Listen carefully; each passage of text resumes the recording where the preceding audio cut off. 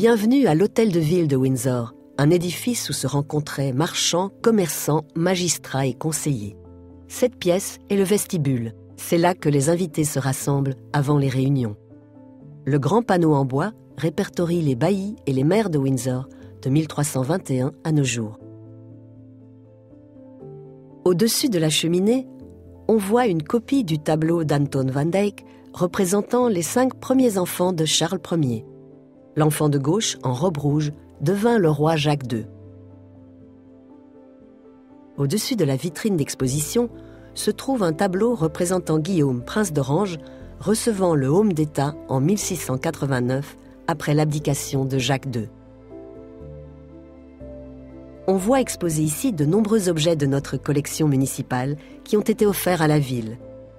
Le vase blanc commémore le jubilé d'argent d'Élisabeth II. Les contours du vase reproduisent son profil et celui du prince Philippe. Les voyez-vous?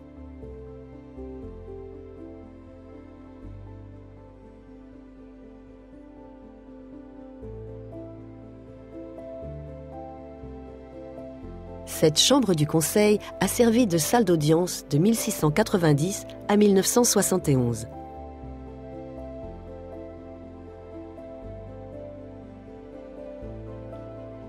On peut encore voir l'estrade et les gardes-corps où siégeaient le maire et le premier magistrat. Les armoiries royales sculptées au-dessus de l'estrade sont celles de la reine Anne, qui régna de 1702 à 1714. Elle fut le dernier monarque appartenant à la maison Stuart. Ces armoiries témoignent de l'union de l'Angleterre et de l'Écosse en 1707. Au-dessus, vous verrez deux lustres en laiton. Ils sont prêtés par le château de Windsor depuis le début des années 1950 et pèsent chacun plus de 317 kilos. Les chaises en bois sculptées sont en chêne du Grand Parc de Windsor. Elles portent le cimier de Windsor, utilisé depuis 1439. Des portraits de divers monarques de Grande-Bretagne, depuis Élisabeth Ier jusqu'à Élisabeth II, tapissent les murs. La plupart ont été offerts au Conseil au fil des ans. Les tableaux de George V et de la reine Mary ont été offerts en 1917 par Leur Majesté, à l'occasion du changement de nom de la famille royale de Saxe-Cobourg-Gotha en Windsor. Les cadres sont en chaîne du Grand Parc de Windsor et sont coordonnés à ceux des portraits d'Édouard VII et de la reine Alexandra.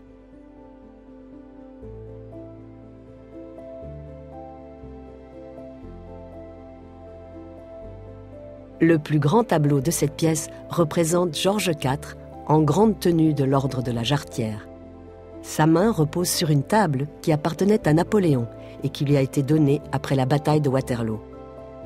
Il avait un train de vie opulent et commanda la statue équestre de son père Georges III, visible au bout de la longue promenade, Long Walk, et qu'on appelle le cheval de cuivre.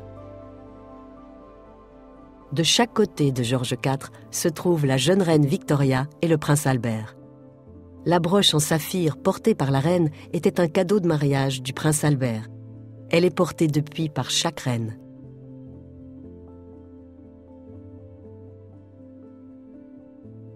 L'Ascot Room est surtout célèbre pour avoir, le 9 avril 2005, accueilli la cérémonie de mariage du prince Charles et de Camilla, duchesse de Cornouailles.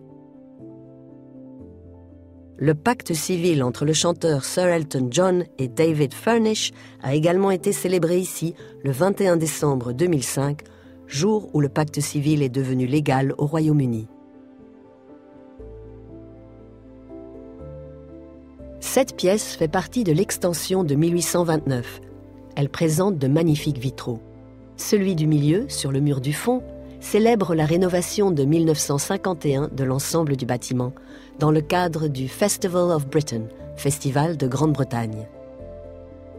De chaque côté, on peut voir des vitraux réalisés en 1886 par la Manufacture royale de vitraux de Windsor.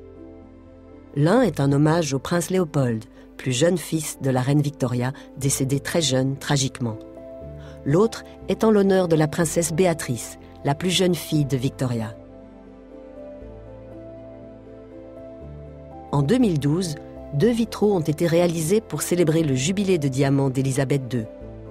Ils représentent quatre résidences royales, le château de Windsor, le palais de Buckingham, la résidence de Sandringham et le château de Balmoral.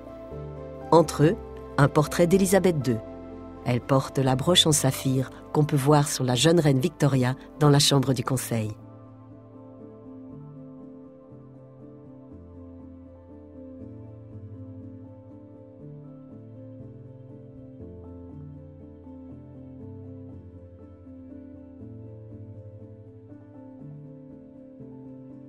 Nous sommes ici dans le bureau privé du maire quand il est à Windsor. Les murs sont ornés de portraits des maires qui ont servi l'arrondissement depuis deux siècles. Le maire qui connut la longévité la plus importante en restant 13 ans à la tête de l'arrondissement est Sir William Carter, qui fut fait chevalier pour sa passion et son dévouement pour la ville. La belle table en chêne aux pieds finement sculptés fut présentée en mémoire d'Augustus Harris, maire en 1911. La tapisserie commémore la première exposition de tapisserie de Windsor en décembre 1878. On y voit les armoiries royales et celles de la corporation, le conseil qui administre l'arrondissement, un chêne et un cerf. Au-dessus de la tapisserie se trouve un tableau représentant James Bedborough. Il construisit l'extension de l'hôtel de ville en 1829 et fut maire en 1846 et 1853. Au-dessus de la porte de l'Ascot Room, on peut voir un portrait de George Davis, maire en 1819.